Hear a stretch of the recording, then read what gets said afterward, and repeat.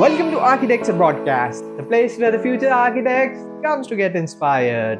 If you have not subscribed yet, you're missing out. This video is collaboration with Archipedia. Hello architects, welcome back. In this video, our expert will teach you the basics of V-Ray, so it will be a kickstart for your V-Ray learning curve. And if you want to download this book, which contains step-by-step V-Ray tutorial from beginner to advanced level, I recommend you to watch the video first and then look into this book so you will be having a better understanding. Watch the video till the end. You will find out how to download this book for free. So without further ado, let's get into the video.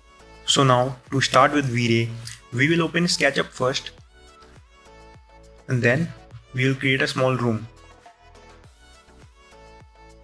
After adding the rectangle, we will add walls.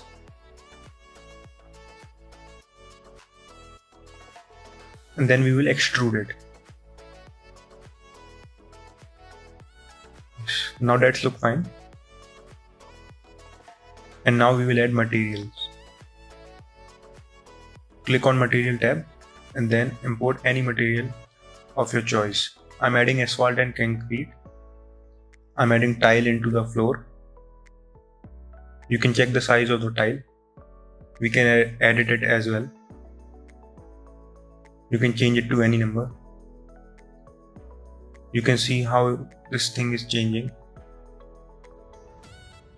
We can also change the color for reference, but it, it will not make any changes in the actual figure. Just for the reference we can change it like if we are working on a complex object and we need to differ. So now after clicking on V-Ray buffer it will show you a live buffer of the object. We can zoom in to the actual figure and it will it will be updating live into the V-Ray. We can see the tiles.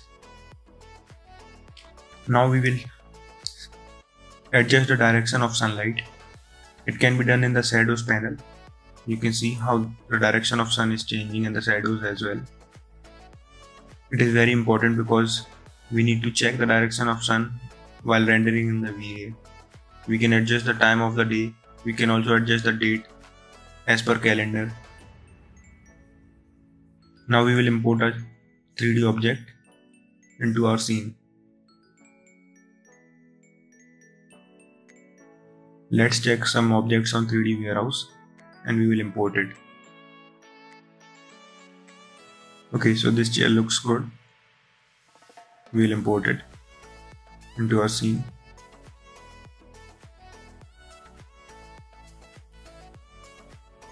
As we can see it is too small so we will scale it according to our scene. We'll make it a little bigger. Yeah, this seems perfect now you can scroll and see it again. We'll open the V-Ray buffer window. Yes now it is showing in the V-Ray scene as well. We can change the shadows. So these are the materials that are available in SketchUp. These are the basic materials which are enabled in SketchUp on its own. And now we will use the V-Ray materials that are, that are available with the V-Ray now let's jump into the V-Ray materials. V-Ray materials are available. You can see it here. Click on this window and then here are the materials that comes with V-Ray. These are high quality materials that makes the scene better. We can select any of these bricks, car paint. There are several materials available in different categories. We'll select concrete, wall paint and wallpaper. First we'll select a wallpaper we'll select this one. Click on add to scene and then click on paint. This is the procedure which you have to use whenever you are applying material from V-Ray.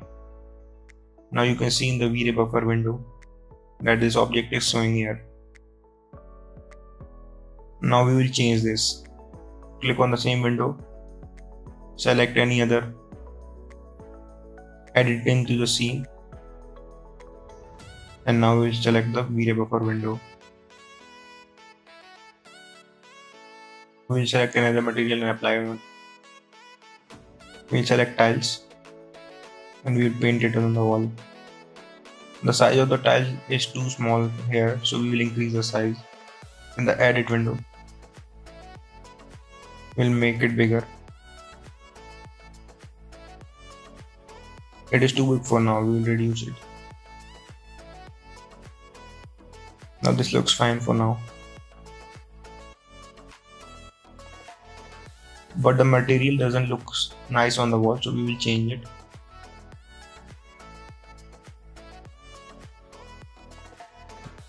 We'll select bricks there are several type of bricks available in the scene select it and paint it then we will change the size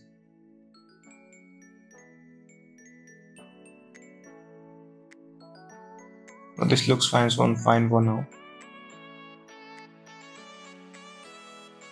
we will add wooden tiles on the floor. The size of tile is too small as you can see it here. So we have to increase the size to make it visible, to make the design visible.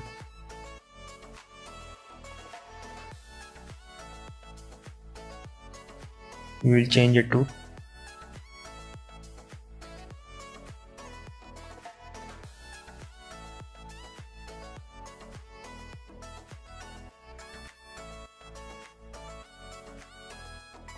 as you can see the render how this looks on the render screen. We can change the properties of the render. We can add glossiness we can add reflection as well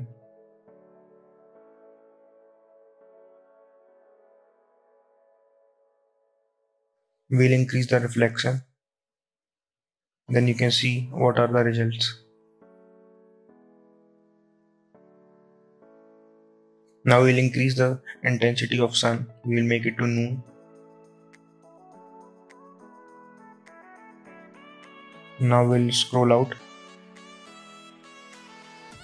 And as you can see the reflection of the chair on the floor. This is what this windows do. As you can see the floor is too glossy for now. It is it is reflecting the chair as well. Now we will reduce the glossiness and reflection to make it look like a floor.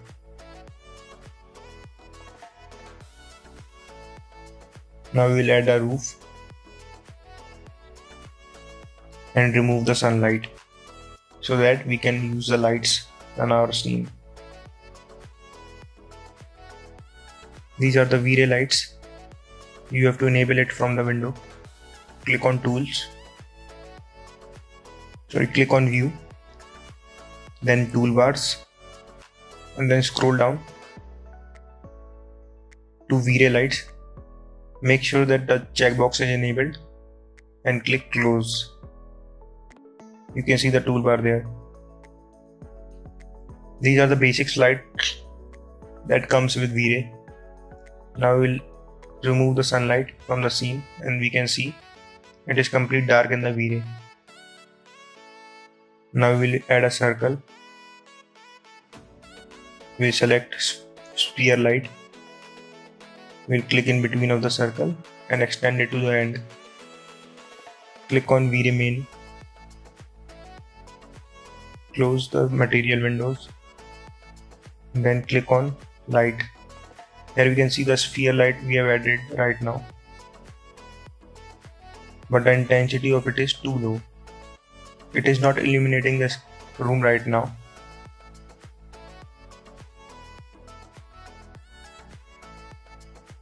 We'll remove the circular light. We'll add rectangle.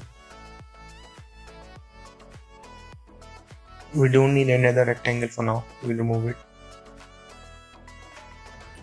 Now we'll add rectangular light in the scene. Click on rectangular light. Click an edge of the rectangle we have just made and stretch it to the end. Now click on V-Ray buffer window. As we can see the light, the rectangle light here and now we'll increase the intensity to 30,000. It is too bright for our scene so we'll reduce the we'll make it 15000 even now it is too bright for our scene so we'll reduce it more.